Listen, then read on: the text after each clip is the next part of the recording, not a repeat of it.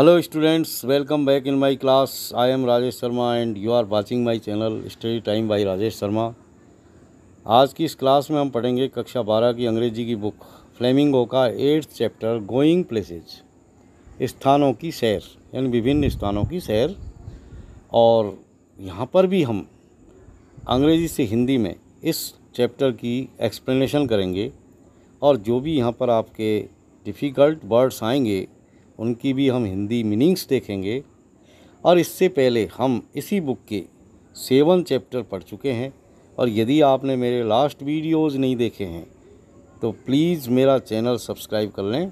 study time by Rajesh Sharma और वहाँ जा कर के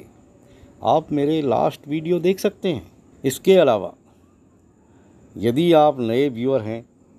और अभी तक आपने मेरा चैनल सब्सक्राइब नहीं किया है तो ये सबसे पहला काम है प्यारे बच्चों चैनल ज़रूर सब्सक्राइब कर लें और वीडियो पसंद आए तो लाइक भी करें और शेयर करें अपने फ्रेंड्स को इसके अलावा कमेंट बॉक्स में आप अपने विचार ज़रूर लिखें तो आइए शुरू करते हैं let's begin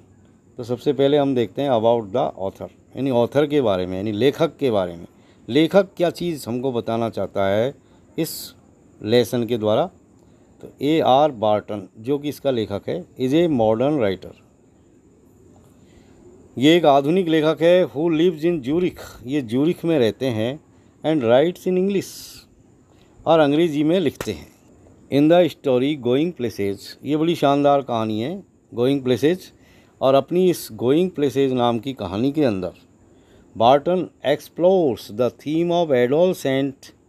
fantasising and hero worship in the story going places यानी ये गोइंग प्लेसेज नाम की ये जो कहानी है जो बड़ी मज़ेदार कहानी है इसके अंदर बार्टन साहब क्या हमको बताना चाहते हैं बार्टन एक्सप्लोर्स इसमें बार्टन एक्सप्लोर करते हैं the theme of adolescent adolescent की थीम को एडोल सेंट का मतलब होता है किशोर अवस्था तो किशोर अवस्था का जो आ, काल होता है बच्चों का जब बच्चे किशोर अवस्था में आते हैं तो वो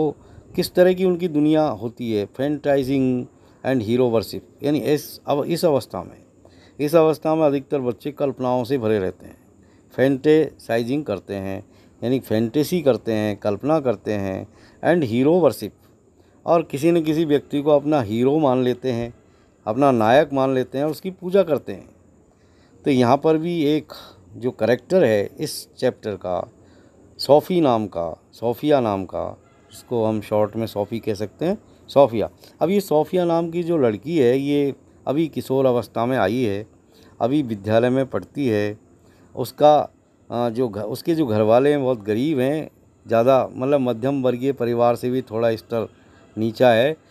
लेकिन ये विभिन्न तरह की ऐसी कल्पनाएं करती है जिसकी पूरी होने की कहीं कोई आशा नहीं है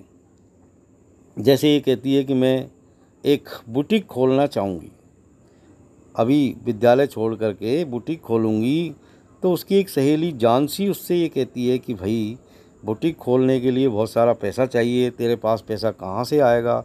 तो वो अपनी कल्पनाओं में फिर उड़ान भरती है कि मैं एक हीरोइन बन जाऊँगी मैं एक मैनेजर बन जाऊँगी मैं जो है एक फैशन डिज़ाइनर बन जाऊँगी अब जैसे बनना बड़ा आसान है यानी उसको लगता है कि मैं जो चाहूँगी वो बन जाऊँगी उसको अभी इस दुनिया के यानी जीवन के जो कठोर अनुभव है उसका कहीं किसी भी तरह का अनुभव नहीं है और इस तरह वो अपनी फैंटेसाइजिंग करती है इसी तरह हीरो वर्शिप में वो यूके की जो प्रथम श्रेणी की फुटबॉल की जो टीम है और उसका एक उभरता हुआ जो खिलाड़ी है उसे अपना हीरो मान लेती है डैनी के जी और कल्पनाओं में उससे मिलती भी है और घर में भी ये प्रचार करती है कि मुझे आ, मेरी जो है आज डैनी के जी से मुलाकात हुई थी और उसने मुझसे फला जगह पर मुझको मिलने बुलाया है इसके अलावा उसने मुझसे और भी बहुत सारी बात की है तो इस तरह की चीज़ें जो है इस पार्ट के अंदर हम देखेंगे कि किस तरह बच्चे जो है फैंटेसीज करते हैं और किस तरह हीरो वर्शिप करते हैं इसलिए बने रहे मेरे साथ और देखें वीडियो को शुरू से अंत तक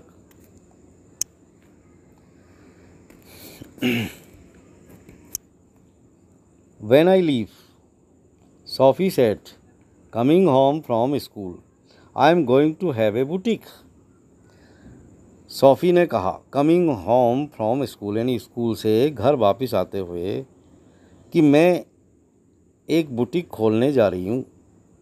वैन आई लीव जब मैं स्कूल छोड़ दूँगी तो मैं एक बुटीक खोलूँगी अब ये बुटीक क्या होता है बुटीक एक ऐसी दुकान का नाम है जो जिसके अंदर महिलाओं के वस्त्र बेचे जाते हैं Jansie linking arms with her along the street Jansie जो उसकी सहेली है वह अपनी बाहों को अपनी सहेली सोफ़ी के गले में डालती है और गली में साथ साथ चलती है लुक्ड डाउटफुल और जब वो सोफ़ी ये घोषणा करती है कि मैं एक बुटीक खोलने जा रही हूँ तो वो थोड़ी सी डाउटफुल दिखाई देती है थोड़ा सा संदेह उसकी आंखों में नज़र आता है takes money Soph something like that तब जानसी उससे कहती है कि भाई ऐसा है सॉफ ऐसे कामों में समथिंग लाइक दैट यानी इस तरह के जो काम होते हैं उसमें टैक्स मनी यानी धन की ज़रूरत पड़ती है पैसा चाहिए दुकान यदि तू खोलना चाहती है बुटीक खोलना चाहती है तो उसके लिए पैसा कहाँ से आएगा I will find it Sophie said staring far down the street गली में आगे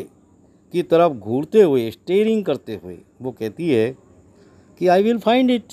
अरे मैं इसे प्राप्त कर लूँगी यानी मैं पैसा कहीं से कहीं से इंतज़ाम कर लूँगी पैसे का take you a long time to save that much तब आगे जानसी उससे समझाती हुई ये कहती है कि भाई take you a long time यानी आपको बहुत लंबा समय लगेगा टू सेव दैट मच यानी इतना धन बचाने के लिए जितने धन में एक बुटीक खोली जा सके यानी बुटीक खोलने की जहाँ तक बात है तो बुटीक खोलने में जितना धन चाहिए उस धन को बचाने में तुमको बहुत समय की ज़रूरत है well I will be a manager then तब आगे कहती है वो सोफिया कि तब मैं एक मैनेजर बन जाऊंगी yes of course to begin with till I have got enough अरे हाँ वास्तव में till I have got enough यानी मैं शुरुआत कर लूँगी किसी बैंक में मैनेजर बन जाऊंगी और जब मेरे पास एनफ यानी पर्याप्त पैसा हो जाएगा बट एनी anyway, लेकिन चलो छोड़ो इस बात को I know just how it is all going to look मैं जानती हूँ कि ये सब कुछ किस तरह का दिखाई देता है यानी ये सारी चीज़ें कैसी दिखाई देती है they wouldn't make you manager straight off Soph तब जानसी उसको समझाती है क्या कहती है वो कि सॉफ ऐसा है कि वो सीधे ही तुमको मैनेजर नहीं बनाएंगे यानी जैसा तुम कहती हो कि मैं मैनेजर बन जाऊंगी तो ये तुम्हारे हाथ की बात नहीं है वो तुमको सीधे ही मैनेजर कैसे बना देंगे I will be like Mary Quant तब सोफ़ी आगे अपनी बात को जारी रखती है और कहती है कि मैं मेरी क्वांट की तरह बन जाऊंगी Sophie said I will be a natural they will see it from the start मैं स्वाभाविक रूप से काम करूंगी और वो इस चीज़ को शुरुआत से ही देखेंगे I will have the most amazing shop this city is ever seen और इसके बाद में मेरी जो दुकान मैं खोलूँगी जो मैं बुटीक खोलने जा रही हूँ वो बहुत ही आश्चर्यजनक होगी यानी इतनी अमेजिंग होगी कि इस शहर में इससे पहले कभी ऐसी दुकान नहीं खुली होगी Jansie knowing they were both earmarked for the biscuit factory अब जानसी जो उसकी सहेली है वो इस तरह की फैंसीज नहीं करती है रियलिटी में जीती है वास्तविकता में जीती है तो वो इन सारी चीज़ों को जानती है तो इन सारी चीज़ों को जानती है वो और वो ये भी जानती है कि हमारा जन्म जो है जो है बिस्किट फैक्ट्री में काम करने के लिए ही हुआ है यानी हम ईयर मार्क कर दिए गए हैं गॉड की तरफ से ईयर मार्क का मतलब होता है पहले से ही तय किया हुआ कोई बात या कोई कार्यक्रम बिकेम मेलन कॉली और इससे वो उदास हो जाती है मेलन कॉली मेलन कॉली का मतलब होता है मेलन कॉली मेलन कॉली मतलब उदास होना और इस तरह वो झांसी जो है उसकी बात सुन सुन के थोड़ी उदास हो जाती है सी विस्ट सॉफी बुलंड से दीज थिंग्स तब वो मन में ये कामना करती है सी विस्ट कि सॉफ़ी को इस तरह की बात नहीं करनी चाहिए यानी ये सॉफ़ी इस तरह की बात क्यों करती है हवा में उड़ान क्यों भरती है वैन दे रीस्ट सोफ़ीज स्ट्रीट और जब ये दोनों सहेलियाँ सोफ़ी की स्ट्रीट में पहुँची यानी सोफ़ी की गली में पहुँची यानी उस रास्ते में पहुँची जहाँ सोफ़ी का मकान था तब झांसी सेट झांसी ने कहा it's only a few months away now अभी कुछ और महीने लगेंगे हमारी पढ़ाई पूरी होने में Soph you really should be sensible तब वो समझाती हुई कहती है जानसी अपनी सहेली सोफिया से कि सही कि भाई सोफिया तुमको सेंसिबल हो जाना चाहिए अब यानी तुमको समझदारी से काम लेना चाहिए सेंसिबल मतलब समझदारी they don't pay well for shop work you know that they don't pay well well यानी अच्छी तरीके से या ठीक ठाक पे का मतलब पैसा देना पैसा चुकाना फॉर शॉप वर्क दुकान का काम यानी वे लोग दुकान के काम का पूरा पूरा पेमेंट नहीं करते हैं यानी पूरा पूरा यानी ढंग से पेमेंट नहीं देते हैं यू नो दैट तुम इस बात को जानती हो your dad would never allow it और तुम्हारे डैड इस बात की तुमको कभी भी अनुमति नहीं देंगे यानी कभी भी अलाउ तुमको नहीं करेंगे डैड मतलब फादर और an actress now there real money in that आगे सोफ़ी फिर कल्पना में आगे उड़ान भरती हुई कहती है चलो ऐसा है मैं एक एक्ट्रेस बन जाऊंगी यानी एक हीरोइन बन जाऊंगी और तुम जानती हो कि इस काम में पैसा ही पैसा है रियल मनी है yes and I could maybe have the boutique on the side और जब मैं हीरोइन बन जाऊंगी एक्ट्रेस बन जाऊंगी तो मैं हीरोइन के साथ साथ अपनी बुटीक का भी काम करूंगी actresses don't work full time क्योंकि जो एक्ट्रेसेज होती है जो हीरोइन होती है जो नायिकाएं होती है वो पूरे समय काम थोड़ी करती है डू दे क्या वह ऐसा करती है क्या ये हीरोइन पूरे समय काम करती है एनी anyway, चलो छोड़ो दैट और ए फैशन डिज़ाइनर चलो ठीक है यदि ऐसा नहीं हुआ तो मैं एक फैशन डिज़ाइनर बन जाऊंगी यू you नो know, आप जानती हो यानी तुम जानती हो कि समथिंग ए बिट सोफेस्टिकेटेड जो कि एक थोड़ा सा अच्छा काम है थोड़ा सा परिष्कृत काम है sophisticated and she turned in through the open street door leaving Jansie standing in the rain और तब सी टर्नेट वो घूमती है in through the open street door street के खुले हुए दरवाजे से अंदर leaving Jansie standing in the rain और अपनी सहेली जानसी को बरसात में भीगते हुए छोड़ करके यानी गली में अपनी सहेली झांसी को बरसात में भीगती हुई छोड़ करके वो भाग करके गली के खुले हुए दरवाजे से अंदर चली जाती है मुड़ती है और चली जाती है if ever I come into money I will buy a boutique और ये कहती हुई जाती है कि यदि कभी मेरे पास धन हुआ if ever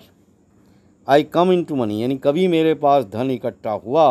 तो I will buy a boutique तो मैं एक बुटिक खरीदूंगी ओह if you ever come into money if you ever come into money you will buy us से ब्लैश decent house to live in thank you very much और उसकी ये बात सुन करके उसकी सहेली जानसी उससे पीछे से ये कहती है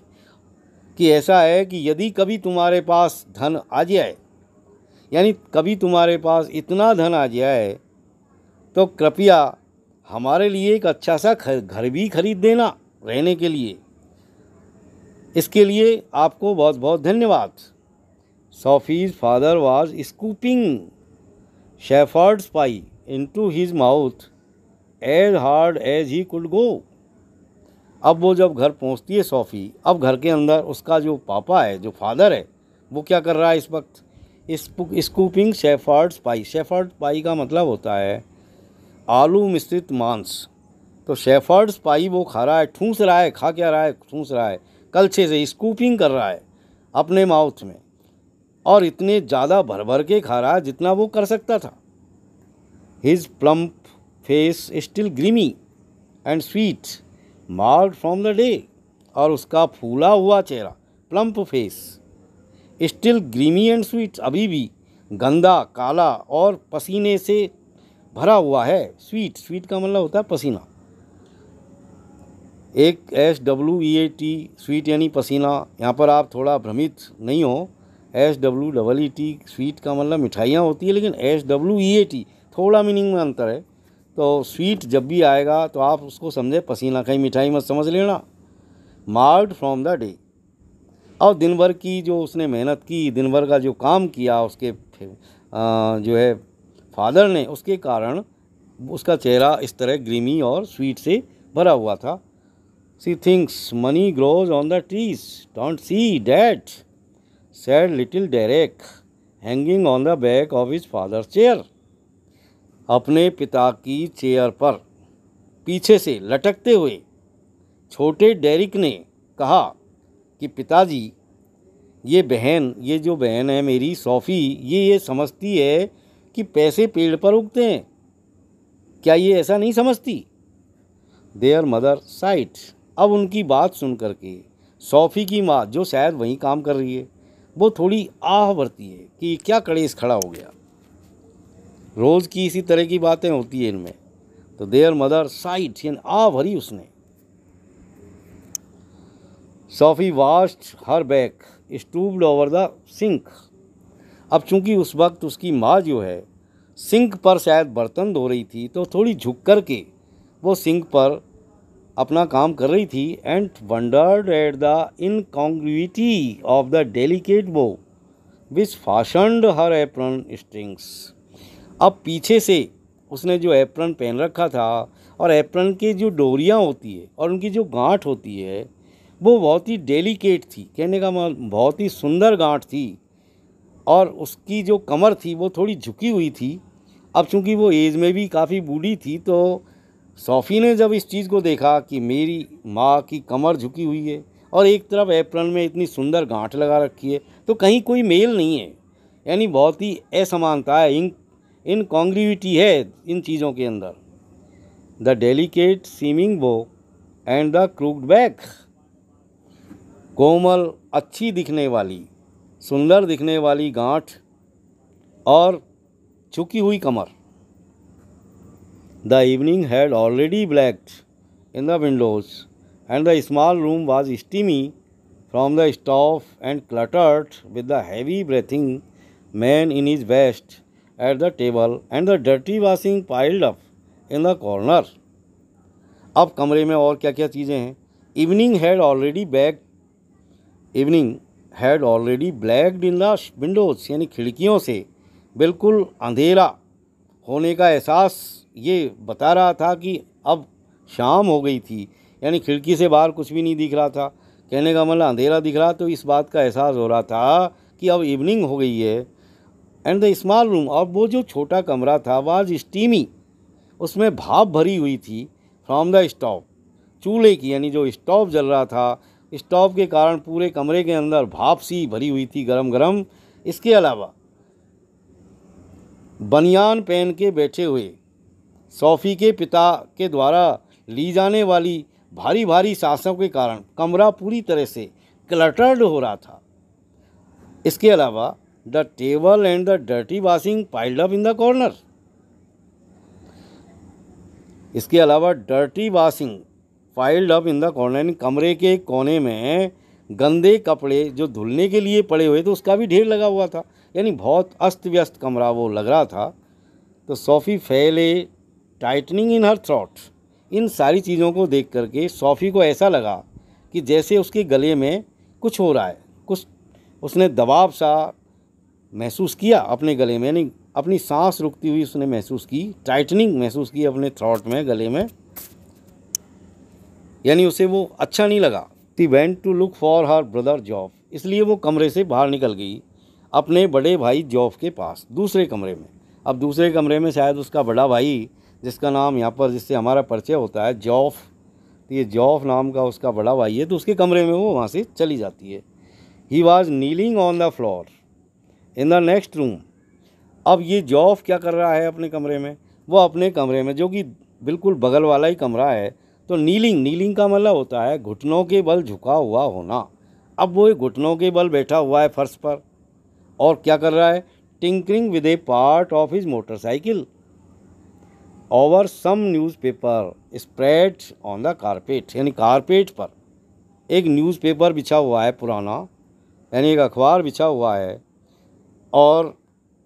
एक पार्ट ऑफ मोटरसाइकिल यानी मोटरसाइकिल का कोई पुर्जा उसने वहाँ पर रख रखा है और उसे ठीक कर रहा है टिंकर कर रहा है टिंकर का मतलब यहाँ पर ठीक करना है he was three years out of school अब ये जॉब को स्कूल छोड़े हुए तीन साल हो चुके हैं यानी तीन साल पहले ही ये स्कूल छोड़ चुका है एन अप्रेंटिस मैकेनिक और अब ये एक अप्रेंटिस मैकेनिक है यानी प्रशिक्षु मैकेनिक है मिस्त्री है मोटरसाइकिल का travelling to his work each day to the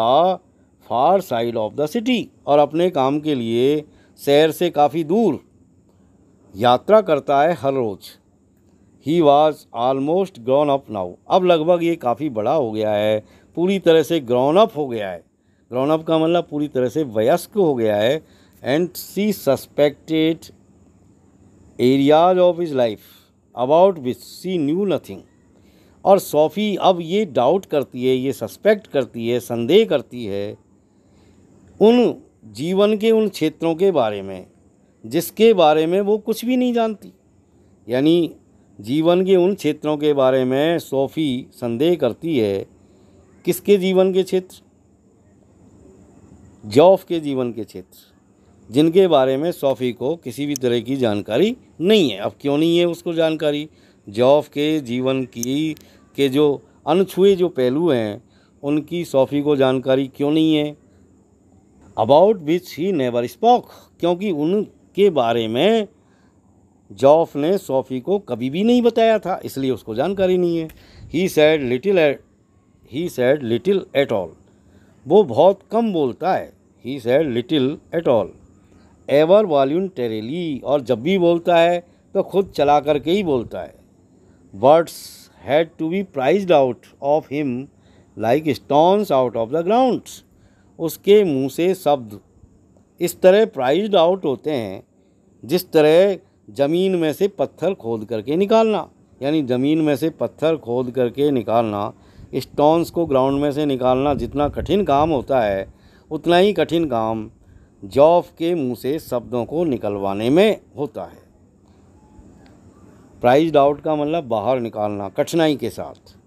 and she was jealous of his silence और सोफ़ी उसकी साइलेंस से यानी उसकी चुप्पी से यानी जो चूँकि वो चुप रहता है तो उसकी चुपचाप रहने की आदत से सोफ़ी को बहुत जीलस है कहने का मतलब उससे बहुत वो जेलसी रखती है कहने का मतलब बहुत ही जलती है बहन ही वाजेंट स्पीकिंग और जिस वक्त ये जो जॉफ है जब बोलता नहीं है तो सोफ़ी ये समझती है कि इट वाज एज दो ही वाज अवे समवेयर इसका मतलब ये है कि विचारों में ये कहीं खोया हुआ है और इसके विचार पता नहीं कहीं दूसरी जगह पहुँचे हुए हैं out there in the world बाहर किसी और दुनिया में इन दोज प्लेसेस उन स्थानों में